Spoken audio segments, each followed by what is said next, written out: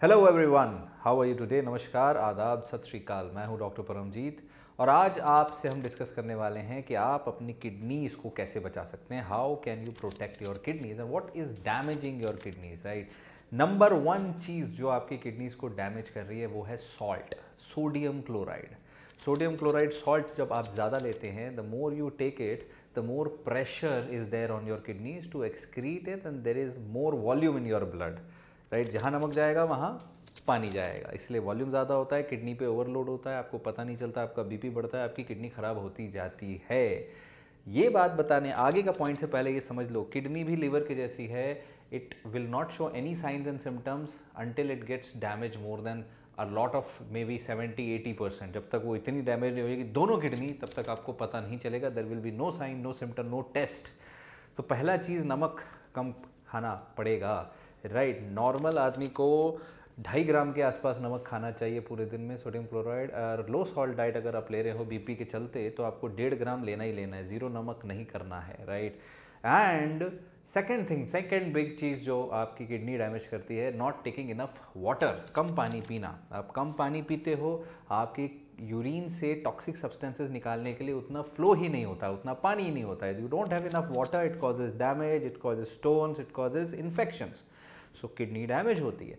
Third big reason is when you resist your bladder calls अगर आपको urine sensation हो रहा है मिक्चुरेशन कॉल हो रहा है, आप उसको नहीं आंसर करते हो, आप रोक के रखते हो that cause is undue pressure on your kidneys वो प्रेशर की वजह से किडनी खराब होती है। Fourth big reason is your own दिमाग आपके केमिस्ट जो आपको मेडिकेशन दे देते हैं and you take yourself medicate with pain killers and antibiotics and other medication तो खुद की दवा जब आप लेना शुरू कर देते हो उल्टी सीधी लंबे समय के लिए those are damaging to the kidneys और वो किडनी करती हैं ख़राब।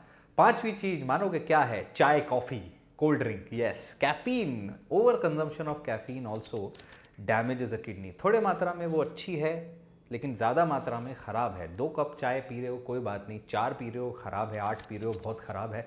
कॉफ़ी में डबल कैफीन है चाय से, याद रखिए। That is important message and the six reason is avoiding cold flu and infection अगर किसी भी जगह बॉडी में इन्फेक्शन होता है यू आर अवॉइडिंग दैम आप उसे ठीक नहीं कर रहे हैं, लंबे समय तक चल रहा है that infection can lead to immune system issues which can damage your kidneys as well as the infection can travel to your kidneys so kidney में दिक्कत बहुत ज़्यादा जल्दी हो जाती है अगर आप अवॉइड करते हो राइट right? या हर बात पे एंटीबायोटिक लेते हो, वो भी ख़राब है right so all these things actually damage your kidneys and you will not get any signs and symptom unless जब तक किडनी बहुत ज़्यादा ख़राब नहीं हो जाएगी।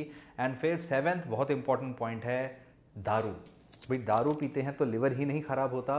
Alcohol actually damage your kidneys also right chronic kidney damage is because of over taking over intake of alcohol as well as smoking smoking तो हर जगह डैमेज करेगा। स्मोकिंग आर्टरीज कोलैप्स कॉन्ट्रैक्ट करना बंद कर देता है। इलास्टिसिटी चली जाती है। Thousand of side effects cancer अलावा बहुत सारी चीज़ें हैं।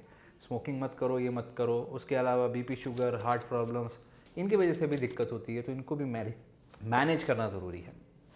इतनी सारी चीज़ें आपको करनी है सिर्फ़ किडनी को बचाने के लिए। सो so, किडनी कोई साइन सिम्टम नहीं बताने वाली लेकिन फिर भी साल में एक बार हेल्थ टेस्ट ज़रूर कराइए। दो साल में एक बार करा लीजिए ताकि आपको पता चले where do you stand so this is all about kidney thank you so much for watching stay connected stay healthy